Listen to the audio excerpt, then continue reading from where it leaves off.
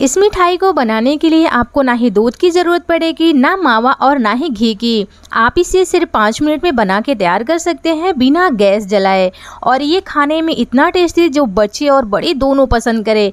किसी भी फेस्टिवल, त्यौहार हो आप इसे बना सकते हैं। पाँच मिनट में झटपट इंस्टेंट मिठाई बना के आप सर्व कर सकते हैं।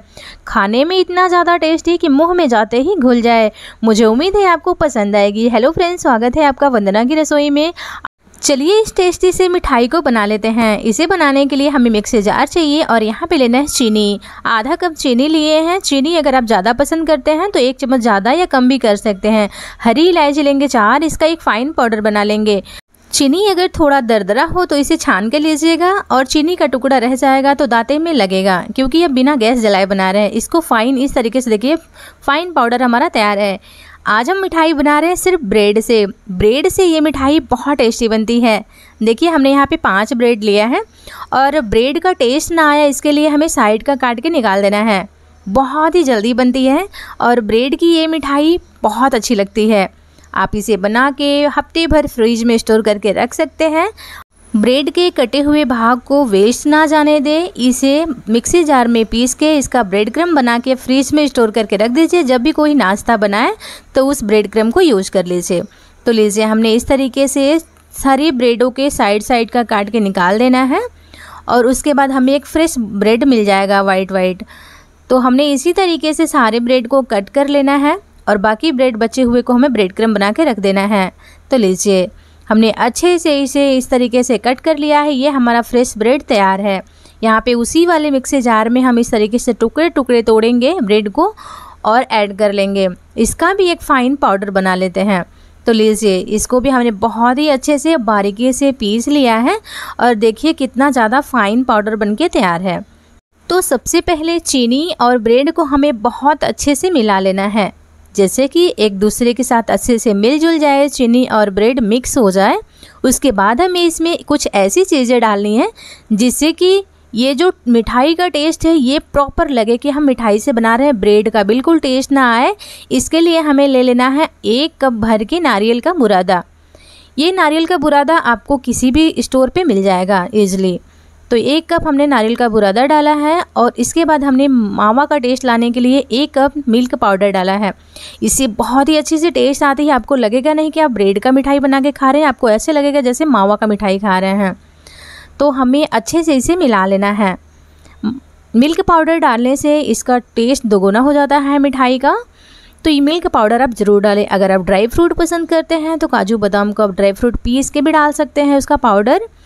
जब इसमें मिल्क पाउडर चीनी अच्छे से मिल जाए इस तरीके से तो ये मिठाई के जैसा खुशबू आने लगता है। तो यहाँ पे हमने एक दिन का ताज़ा मलाई लिया है। करीबन दो बड़ा चम्मच होगा और इसमें थोड़ा सा दूध डाल लिया है। और इसे हमें मलाई को पहले मेल्ट कर लेना है इस तरीके से, स्पून की सहायता से। ये मिठाई बिल्कुल ताज़ा ताज़ा बनने के लिए हमने मलाई यूज़ किया है। और आप चाहें तो यहाँ पे सिर्फ़ दूध से भी इसे बना सकते हैं या फिर अगर दूध नहीं पसंद करते तो मलाई से बना लीजिएगा। और यहाँ पे हमने दो से तीन चम्मच यहाँ पे मलाई डाला है और इस मलाई को डालने के बाद हमें इसे मिक्स कर लेना है हाथों से इस तरीके से। पहले हल्के हाथों से मिला लेना है। जब चारों तरफ़ अच्छे से इस मिठाई में लग जाए मलाई तो ये एक सेप मिल जाता है बनाने के लिए। तो मलाई डालने के बाद हमें इजली हाथों से, हल्के हाथों से पहले अच्छे से मिलाने के बाद हमें इसे सख्त डो के जिस फॉर्म में लाना है तो हमें इसका एक सॉफ्ट सा डो तैयार करना है जिससे मिठाई को हम सेप दे सकें। तो इस तरीके से हाथों से देखिए हमने बहुत बढ़िया से जो है मिला लिया है, अब इसको एक डो बनाएँगे। तो ये अच्छे से मिलजुल रहा है तो इसका मतलब ये डो बनने के लिए बहुत अच्छे से परफेक्ट तैयार है। अगर आपको थोड़ा भी ड्राई लगे ना तो एक चम्मच और भी इसमें मलाई या फिर दूध डाल लीजिएगा। ये इसका एक सॉफ्ट सा डो बना लीजिएगा।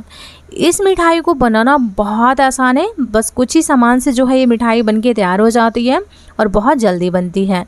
तो ये देखिए, हमने इसको एक डो के फॉर्म में इस तरीके से कर लिया है इकट्ठा होने लगा है। तो यहाँ पे एक बर्तन लेंगे जिसमें भी आपको मिठाई सेट करनी हो बर्फ़ी को।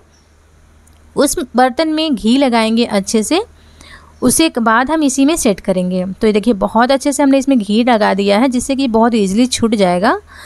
तो इसमें मिठाई का डो हमने डाला है और इसे हाथों से प्रेस करने के बाद हमें एक स्पून लेना है और इस स्पून से हमें इस तरीके से चारों तरफ़ अच्छे से इसे दबा दबा के हमें सेट कर लेना है। इस मिठाई को हमें अच्छे से सेट करने के बाद जो है कि इसे रेस्ट पे छोड़ना है, करीबन आधे घंटे के लिए। तो बहुत अच्छे से जो हमने इसे है, फैला लिया है मिठाई को और इसके ऊपर थोड़ा सा चांदी वर्क लगा देंगे। इसे बिल्कुल ऑप्शनल है। आप चाहे तो इसे बिल्कुल स्किप कर सकते हैं। ड्राई फ्रूट डाल सकते हैं इसके ऊपर या फिर जब भी जो भी आप सिंपल पसंद करते हो तो इसे सिंपल भी रख सकते हैं। तो हमने चांदी का वर्क अच्छे से लगा दिया है। इसे आप रखेंगे आधे घंटे के लिए फ्रिज में। इसे बहुत जल्दी सेट हो जाता है। तो जब ये सेट हो गया है, आधे घंटे हो चुका है तो ये थोड़ा हार्ड हो गया है। तो इसे निकालने के लिए ऊपर से एक प्लेट रखेंगे और इसके ऊपर से हाथों से इस तरीके से डिप डिप करेंगे बहुत ईजिली मिठाई छूट जाता है। और इसके बाद ये मिठाई हमारा तैयार है। तो सबसे पहले एक अच्छा सा सेप देने के लिए साइड साइड से हमें कट करके बराबर कर लेना है चाकू के सहायते से। बराबर करने के बाद हमें इसका एक सेप देना है, जैसे लगे कि परफेक्ट बर्फ़ी बनी है। तो देखिए, इसी तरीके से हमने साइड साइड से कट के निकाल दिया है और उसके बाद जो है इस बर्फ़ी को हमें कट कर लेना है। तो गैस मैं बता दूँ कि अगर आपको मेरी आज की रेसिपी या मिठाई की रेसिपी पसंद आई हो तो कमेंट करके ज़रूर बताइएगा। अपना फीडबैक देते हैं तो मुझे बहुत अच्छा लगता है और उम्मीद करती हूँ कि रेसिपी अच्छी लगी होगी तो एक लाइक ज़रूर कर दीजिएगा, आपके लिए बिल्कुल फ्री है। और सब्सक्राइब नहीं किया है तो सब्सक्राइब कर लीजिएगा बेल आइकन को प्रेस कर दीजिएगा, जिससे मेरी और भी अच्छी अच्छी वीडियो आप तक पहुँचती रहेगी। और लीजिए मिठाई हमारा तैयार है, इसे हमने सर्व किया है। देखने में जितना ही लाजवाब है, खाने में उससे ज़्यादा टेस्टी है। इसके ऊपर से थोड़े से हम बादाम को बारीक कट करके डाल दिया जिससे देखने में और भी ज़्यादा लुक वाइज लगे। तो तैयार है, ब्रेड की मिठाई सिर्फ़ पाँच मिनट में बनने वाली। ये परफेक्ट, सुपर टेस्टी, जिसे आप त्यौहार पे भी बना सकते हैं।